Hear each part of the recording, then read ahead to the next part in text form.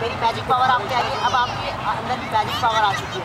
तो तीनों कार्ड में से जिस कार्ड को भी आप सिलेक्ट करेंगे, वो वही कार्ड होगा जो आपने देखा था। नहीं कुछ नहीं होगा नहीं नहीं ठीक है पहले ये वाला कार्ड सीधा करके देखिए, ये तो नहीं बना। नहीं बना, क्योंकि मैंने कहा था जिसको टच करेंगे वही बनेगा। जिसको चेक करें ये तो नहीं बना। आपने सबसे पहले किस कार्ड को चूज़ किया था? चेक करें। क्या ये वही कार्ड है? अप्रिशिएट करते हैं क्लास करके। Thank you thank you sir मज़ा आया सर